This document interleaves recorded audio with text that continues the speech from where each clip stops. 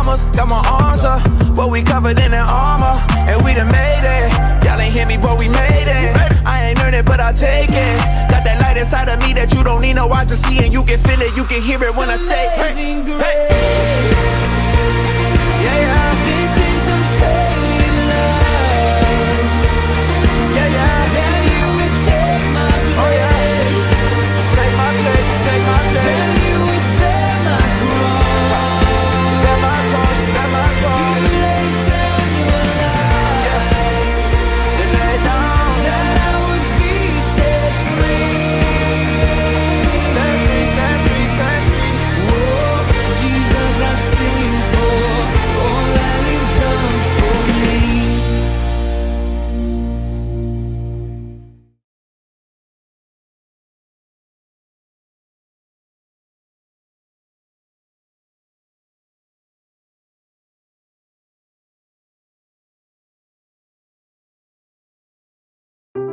The Bible. It's 66 books of history, stories, letters, and poetry that fit together to form God's one big story.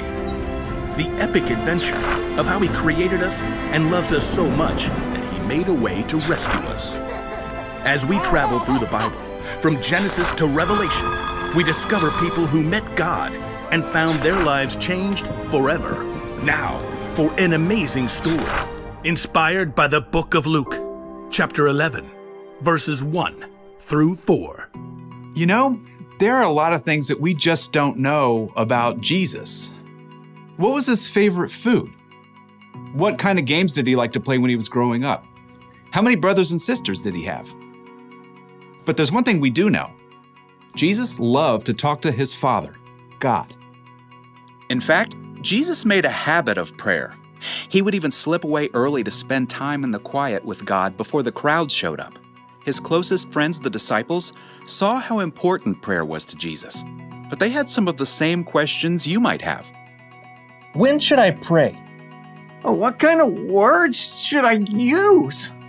How do I talk to someone I can't see with my eyes?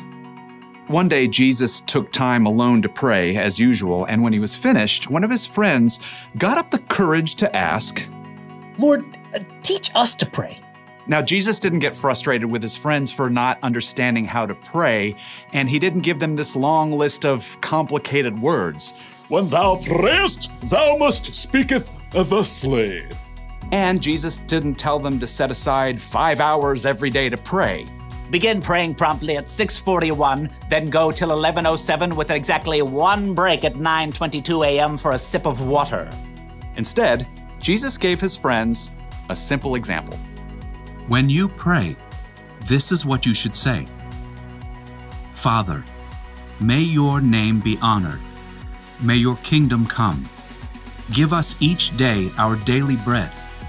Forgive us our sins, as we forgive everyone who sins against us. Keep us from falling into sin when we are tempted. Well, okay, that's great. It's simple, it's direct. So, does that mean we just memorize that prayer and say it over and over to God? Well, actually, it is a great idea to memorize that prayer, but God likes it when we get creative, when we take the ideas from that prayer and make them our own. Let's take a look. Father, may your name be honored. Because of Jesus, we can all call God Father. He's like the best parent ever, a perfect one, and there is no one else in the whole world like God. May your kingdom come. Now, prayer is not making God do something for us. God is a king.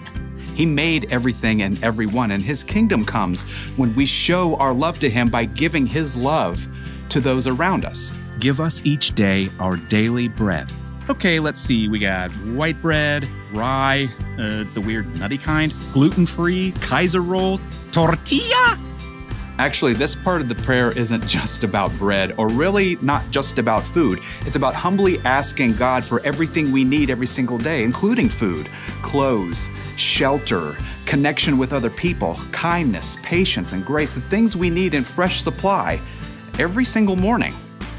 Forgive us our sins as we forgive everyone who sins against us. There is not a single day that we do not mess up in some way. You snap at your little brother. You laugh along when other kids are making fun of the new girl. You sneak an extra cookie without asking. Jesus said it's important to start fresh each day, to ask for forgiveness, and freely offer forgiveness to others who have hurt you too. Keep us from falling into sin when we are tempted.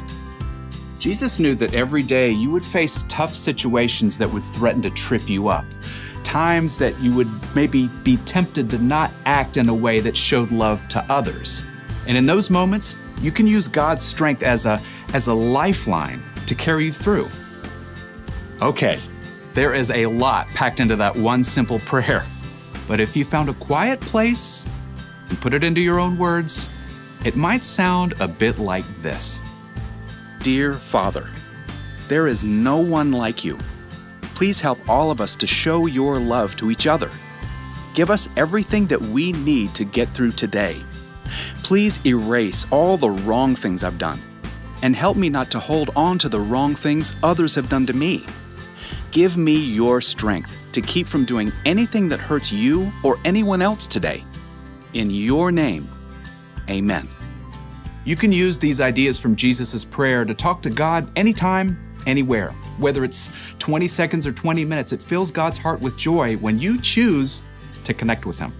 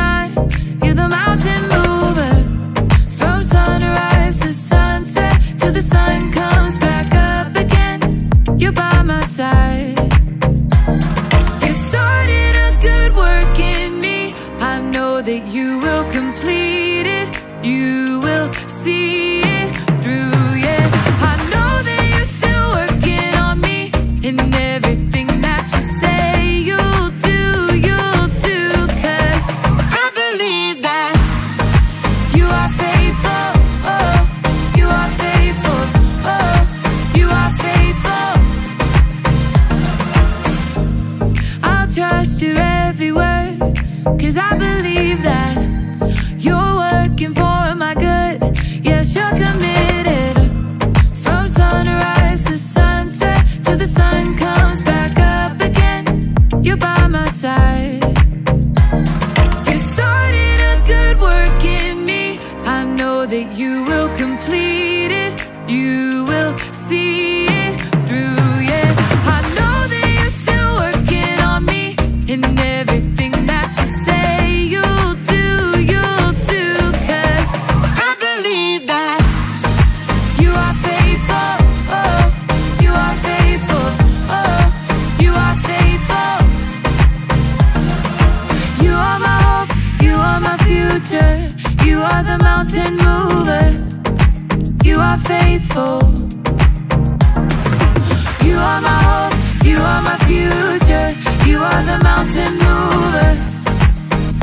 Faithful.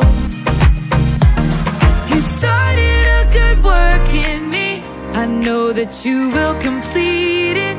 You will see it through. Yeah,